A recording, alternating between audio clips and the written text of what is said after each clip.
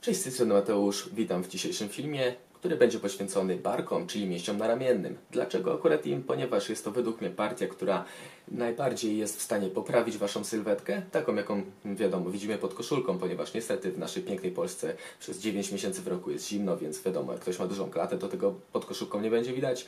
Czyli jeden dziwny trik, jak poprawić sylwetkę, jak na przykład optycznie zmniejszyć talię, to jest dowalić barki. I po drugie, jeden dziwny trik, jak zapobiec wszystkim kontuzjom, to wzmocnić barki, ponieważ ze względu na to, że większość osób targa tylko i wyłącznie cały czas klateczkę, to doprowadza do tego, że cały czas bolą ich barki i później sieją ferment, e, pisząc e, na forach internetowych, że wyciskanie leżąc jest niebezpieczne, a mostkowanie to powoduje dół na wapno zamiast klatek. I także jak zabrać się za większe barki?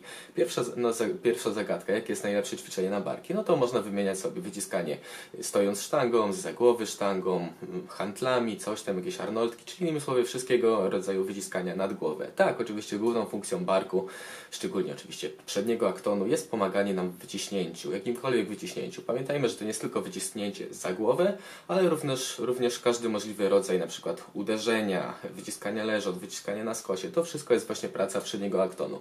Z tym, że bardzo wiele osób zapomina o angażowaniu innych aktonów, czyli części środkowej i części tylniej. Niestety, część środkowa jest właśnie odpowiedzialna za ten fajny szeroki wygląd, ponieważ jest po prostu, no, jest w stanie nas delikatnie poszerzyć. Także pierwszym trikiem, który pozwoli nam polepszyć barki, będzie niezapominanie o części środkowej i o części tylniej. I jako, że lubimy wszyscy ćwiczyć złożonymi ćwiczeniami, to złożone ćwiczenia fajnie angażują przód, aczkolwiek nie do końca dobrze angażują środek i tył barku. Część tylnia barku, mimo że pracuje przy plecach, no właśnie ona jest odpowiedzialna za odwodzenie na zewnątrz, to jednak nie jest do końca zaangażowana przy większości ćwiczeń. Trzeba czasami dobierać e, różnego rodzaju chwyty, tylko problem jest taki, że jeśli dobierzesz w ciężkim ćwiczeniu, w wiosłowaniu, w opadzie, dajmy na to chwyt, który mocno Ci zaangażuje tył barku, czyli to będzie na przykład ty, chwyt nieco szerszy i taki, który wios będziesz wiosłować bardziej do wysokości moska niż do brzucha, okazuje się, że nagle założysz o wiele mniejszy ciężar, albo pracę przejmą kaptury. Kaptury mięśnie o wiele silniejsze niż tył barku i o wiele bardziej z reguły aktywne u większości osób, ponieważ większość osób ma pospinane kaptury, więc im więcej robi tych kapturów, tym po prostu się krąg napędza i z tego powodu, mimo że tył barku pracuje przy różnego rodzaju wiosłowaniach, przyciąganiach, to fajnie będzie dodać sobie ćwiczenie akcesoryjne, które będzie właśnie atakowało tył barku. Najpopularniejszym ćwiczeniem jest albo odwodzenie w opadzie, czyli po prostu robimy opad tułowia i sobie robimy takie wznosy w bok. Pamiętajmy o tym, żeby nie machać tułowiem na lewo i prawo. No a drugim najpopularniejszym ćwiczeniem są face pulsy. Face pulsy wykonywane nachwytem, podchwytem, do wysokości czoła, do wysokości barków. Trzeba wyczuć, co działa na nas, ponieważ wiadomo, większość wyciągów ma e, sztywną wysokość, a nasza wysokość jest oczywiście różna, więc musimy dopasować ruch do możliwości tego, co daje nam wyciąg.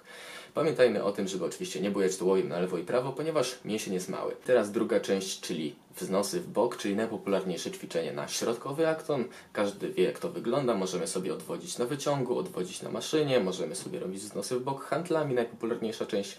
I pamiętajmy, że wbrew obiegowej opinii wyciskanie z głowy wcale nie angażuje mocniej środkowego aktonu, przynajmniej jakoś bardziej. I różnego rodzaju jakieś tam przyciągania e, sztangą do, do brody, coś takiego również nie.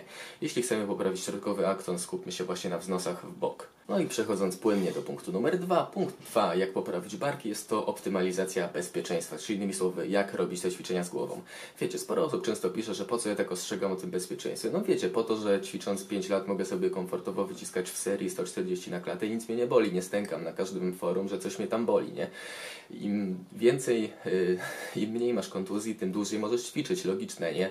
Yy, nie osiągniesz wielkich barów czy silnych barów, mając cały czas jakieś tam problemy. Także a propos wznosów bok, najpopularniejszy błąd jest to wznos taki, że mamy mały palec u góry, jakbyśmy nieśli wiadro. Jeśli przy, robimy jakieś tam przyciągania do brody, którego nie polecam za bardzo, jeśli chwytamy bardzo, bardzo wąsko, to również mamy tutaj rotację wewnętrzną w barach. Jeśli robimy wznos z małym palcem do góry, to również mamy rotację wewnętrzną. Jeśli izolujemy przód barku i robimy go w ten sposób, takie wiecie, wznosy handlami, jeśli mały palec jest do góry, również rotacja wewnętrzna. Każda rotacja wewnętrzna, taka bardzo mocna, może nam wywierać presję na barki yy, i doprowadzając niestety do kontuzji, do problemów. Także kolejna kwestia w kwestii bezpieczeństwa jest to nie przesadzać z ilością wyciskań w tygodniu. I tym sposobem przechodzimy płynnie do części numer 3, czyli ilości wyciskań w tygodniu, czyli jak do tego podejść sensownie. Także biorąc pod uwagę, że serie na środek barku, na tył barku nie są zbyt męczące, można ich katować całkiem sporo, powiedzmy dwa razy w tygodniu po 3-4 serie na środek, dwa razy w tygodniu po 3-4 serie na tył barku. Y, y, ze względu na to, że ćwiczenie jest izolowane, ćwiczenie jest proste, nie obciążamy układu nerwowego, możemy targać tego bardzo dużo. Natomiast w przypadku wyciskań, oczywiście mamy taką tendencję, żeby robić ich zbyt dużo. Także jeśli wyciskamy na klatę, to nie ćwiczymy tylko i wyłącznie klaty, nie izolujemy klaty, ćwiczymy również barki i trica. Robiąc baryczki, wyciskanie stojąc, Oczywiście ćwiczymy barki, fajnie angażujemy, ale również do tego dochodzi praca tricepsa, do pewnego stopnia góry klatki. Z doświadczenia mojego, paru innych osób można wywnioskować coś takiego jak zasada trzech, czyli zasada trzech wyciskań dziennie. Niezależnie czy to jest trening klaty, czy to jest trening push, czy jakikolwiek inny, nie zaleca się robić więcej niż trzech bezpośrednich wyciskań. Przykładowo w planie push-pull, push-pull, czyli planie, gdzie mamy wyciskania oraz przyciągania, no to takim pierwszym wyciskaniem może być wyciskanie leżąc, drugim wyciskaniem może być powiedzmy na przykład skos, trzecim może być być na przykład wyciskanie handlami albo jakieś tam poręcze. Jeśli robimy na jednym treningu więcej niż 3 wyciskania, to być może wchodzimy w strefę robienia za dużo lub w strefę po prostu podatności na kontuzję. Im więcej wyciskań, im więcej robimy, tym większa podatność na kontuzję. Pamiętajmy o tym, że jeśli chodzi o budowę masy i siły, to jest mniej lub bardziej jakiś przedział serii w ciągu tygodnia, który pomaga nam zoptymalizować budowę mięśni lub siły. Y, czyli innymi słowy, nie można robić zbyt dużo, nie można robić zbyt mało. Jeśli robimy zbyt mało, to po prostu nic nie ruszymy, nie mamy bodźca. Jeśli będziemy robić zbyt dużo, dużo, to nasze efekty będą coraz gorsze. I im bardziej jesteśmy zaawansowani, tym więcej możemy robić, dlatego osoby trenujące splita y, po 16 latach stażu mogą robić na przykład 20 serii na barki, przy czym ta sama objętość dla osoby początkującej to byłoby dużo za dużo i po prostu nie mogliby się z tego zregenerować, nie mieliby takich efektów, gdyby na przykład, y, jakby na przykład robili mniej. Także yy, nie powinno się robić więcej niż plus minus 2-3 ćwiczenia, które bezpośrednio angażują przód barku w ciągu całego tygodnia. Czyli na przykład może być to dwa razy w tygodniu OHP, może być to trzy razy w tygodniu OHP. Każde dodatkowe ćwiczenie to jest z reguły lekka przesada, oczywiście w zależności od stażu, od tolerancji, od tego czy jesteśmy na redukcji czy na masie. Pamiętajmy o tym, żeby sumować. Możemy tak zrobić, żeby policzyć łączną liczbę serii na barki. Możemy dodać ćwiczenia, które faktycznie wykonujemy na barki, na przykład OHP, wyciskanie handlami, coś tam innego i sumować z tego, sumować to z połową ilości wyciskań w ciągu tygodnia, takich, które są bardziej na klatę czy na trica. Przykładowo mamy 6 serii OHP, plus 10 serii wyciskań, na przykład typu wyciskanie wąsko, wyciskanie szeroko, na klatkę, jakieś tam inne.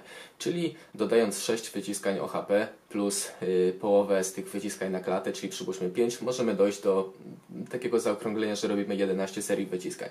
Czy jest to komukolwiek potrzebne takie zaokrąglenie? Nie, ale możemy spojrzeć na ten temat trochę bardziej obiektywnie, możemy porównywać różne plany, możemy zastanawiać się, jaka objętość działa na nas najlepiej. I teraz czwarta kwestia, o której chciałem powiedzieć, jest to przedział powtórzeń, czyli jaki przedział powtórzeń będzie idealny dla naszego mięśnia. No i mówi się, że są mięśnie, które są bardziej szybko kurczliwe i wolno kurczliwe. Czyli jest to taka teoria spiskowa, która została stworzona, żeby powiedzieć, że łydki można robić tylko i wyłącznie na 20 powtórzeń, a na przykład martwy ciąg tylko na 5. I generalnie jest trochę prawdy w mięśniach, które lepiej angażują się przy robieniu małej ilości powtórzeń. Są mięśnie, które angażują się lepiej przy robieniu mega dużej ilości powtórzeń.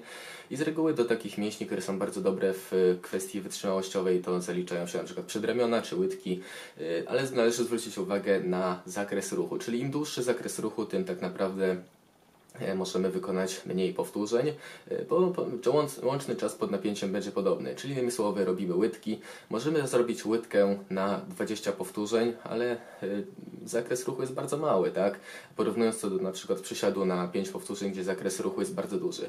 Czyli im bardziej złożone ćwiczenie, to możemy wykonać mniej. No i należy wziąć pod uwagę również też tempo, czyli można wykonać przykładowo łydki czy wznosy w bok na 5 powtórzeń, robiąc to bardzo wolnym tempem, powoli opuszczając i, wnos i podnosząc, ale można też wykonać w tym samym czasie na przykład 20 powtórzeń, robiąc bardzo szybko, tak?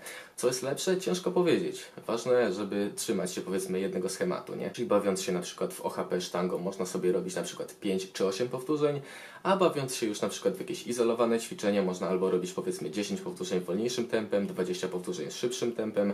Ważne, żeby rozgraniczać i nie robić izolacji na bardzo mało powtórzeń mega szybkim tempem, ponieważ wtedy tracimy y, rzeczywiście czucie tego mięśnia i narażamy się na kontuzję.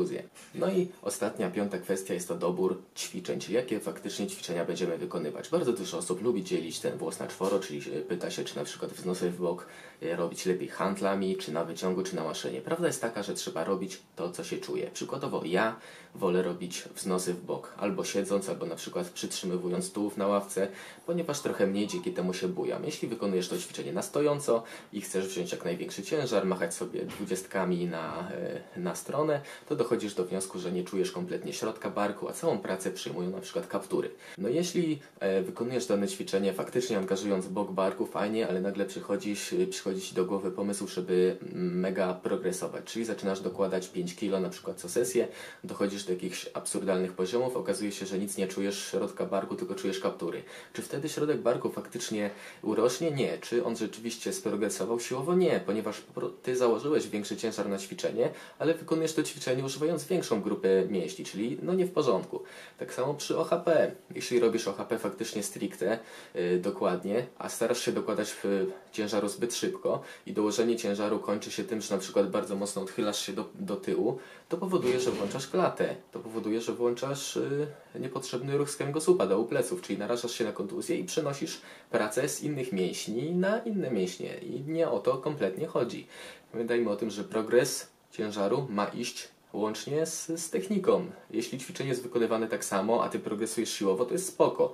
Jeśli ty progresujesz siłowo, wykonujesz ćwiczenie kompletnie inaczej, to jest wiadomo, że źle. Także nie dzieląc włosa na czworo, czy wybierzemy wznosy w bok na maszynie, czy na handlach, róbmy to, co czujemy. Tył barku, czy robimy w opadzie, czy w przytrzymaniu, czy jakieś tam face pulsy, czy krzyżowanie linek, wybierzmy to, co czujemy przód barku, czy wybrać sztangę, czy hantle. No, y, wybierz to, co czujesz. Większość osób bardziej czuje hantle, jeśli chodzi o faktyczną budowę y, masy. To nie znaczy, y, że OHP jest złe. To oznacza tylko i wyłącznie tyle, że OHP jest ćwiczeniem trochę bardziej złożonym. Czyli wyciskając, stojąc sztangą, angażujemy sporo mięśni, angażujemy mięśnie, które utrzymują stabilną, stojącą sylwetkę, czyli angażujemy plecy, angażujemy brzuch, pośladki do pewnego stopnia. Czyli być może w kwestii budowania siły będzie to rozwiązanie fajne, będzie e, to rozwiązanie, które umożliwi nam dalszy skuteczny progres i nie musimy oczywiście czuć barków w każdym możliwym ćwiczeniu złożonym, ponieważ ćwiczenie złożone służy do tego, żeby przerzucić duży ciężar i progresować, natomiast ćwiczenie izolowane służy do tego, żeby wyizolować, poczuć mięsień. Ale patrząc na wszystko z trochę dalszej perspektywy, dochodzimy do wniosku, że niezależnie czy robisz arnoldki, czy robisz zwyczajne wyciskanie, czy handlami, czy sztangą, to jeśli to jest y, złożone ćwiczenie i jeśli to jest wolny ruch, a nie na Smithie, to z reguły efekty są podobne. Czy Smith ma jakieś zastosowanie? Oczywiście, że ma. Z reguły w przypadku kontuzji barków czy dopompowywania, ale to raczej jest y, drugorzędne, drugorzędna pomoc, a nie pierwszego rodzaju ćwiczenie, tak?